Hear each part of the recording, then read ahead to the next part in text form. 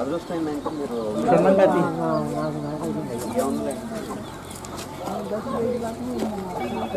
ఇంకా మొన్న కాలితే ఇంకా ఆర్లా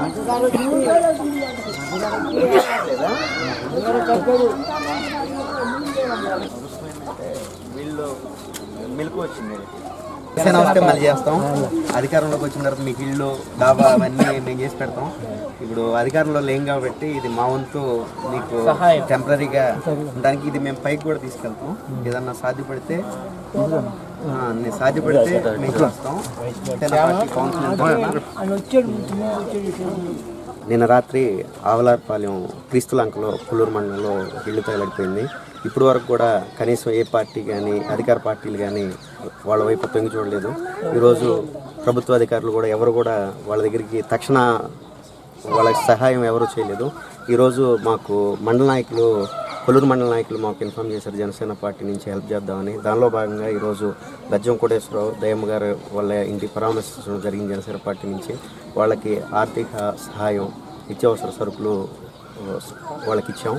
అదేవిధంగా మేము గవర్నమెంట్ని కూడా ఆ, ప్రజలు తీసుకొచ్చి వాళ్ళకి ఇంకా తక్షణ సహాయం ఇవ్వాల్సింది ఇంకా ఆనందానికి పోరాటం చేస్తాం.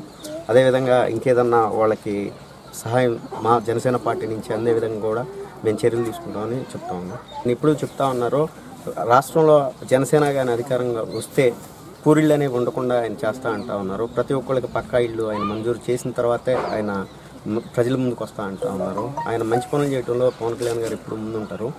సో ఈ ఈ మా నియోజకవర్గంలో మన వేమూరు నియోజకవర్గంలోనే దాదాపు మేము ఈ సంవత్సరంలోనే దాదాపు ఒక పదిహేను ఫైర్ యాక్సిడెంట్లు అయ్యి ఇళ్ళు కాలిపోవటం మేము చూసాం. అంటే పదుల సంఖ్యలో కాలిపోతున్నా కూడా ప్రభుత్వం నుంచి చర్యలు ఏమీ లేవు. అది ఇదే ఈ ప్రభుత్వాలే వస్తూ మనం ఎన్నుకుంటూ ఉంటే ఏ కంటిన్యూ అవుతున్నాయి తప్పితే మాకైతే మంచి జరుగుతుంది అని లేదు. అందుకోసమే పవన్ కళ్యాణ్ గారి నేతృత్వంలో మేము అన్నీ కూడా మంచి కార్యక్రమాలు చేయడానికి మేము ముందుంటున్నాం. ఇటువంటివి చేయడానికి కొంచెం బాధగా ఉంటుంది.